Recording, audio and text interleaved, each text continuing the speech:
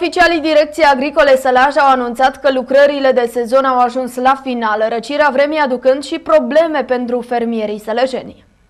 Directorul Direcției Agricole Sălaj, Valentin Duca, a declarat că răcirea vremii a cauzat probleme la încheierea campaniei de recoltare, dar lucrurile au fost în cele din urmă finalizate. În momentul de față, deci, majoritatea culturilor sunt recoltate, mai avem foarte puțin de recoltat la porumb, în restul toate culturile, toate culturile sunt uh, recoltate. Deci la porumb avem recoltată în procent de vreo 65% din o suprafață de 25.000 de hectare și următoarele zile sper că această cultură să fie recoltată uh, în totalitate. Din păcate, producțiile sunt foarte mici, fiind afectate de seceta care a avut loc în perioada iunie septembrie 2015. Un lucru bun este faptul că, începând din decembrie, se vor da banii pentru secetă, a fost stabilită valoarea sumelor care se dă, există o diferență între persoane fizice și societăți, de exemplu, dacă la porumb o persoană fizică va primi în jur de 280, o societate va primi în jur de 560.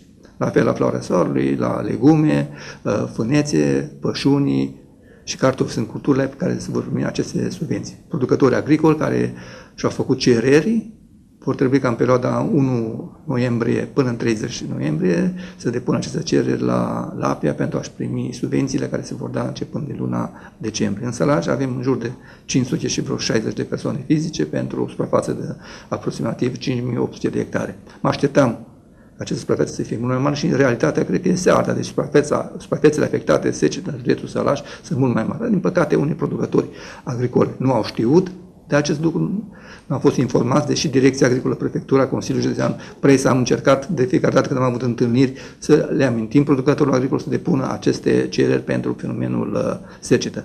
Și din păcate au fost foarte multe persoane care deja în octombrie ne-au sunat dacă mai pot depune cereri pentru fenomenul secetă. Deci acțiunea s-a terminat pe data de 20 octombrie sau când a fost ultimul termen de finalizare a cererilor pentru, pentru fenomenul uh, secetă. De altfel și nici la reducerea impozitului prin urma de venit și acolo încă, nu știu dacă sunt două, trei localități unde s-au depus cereri pentru reducerea cuantumului care trebuie plătit de impozitul care trebuie să plătească producătorii agricoli pe norma de, de venit.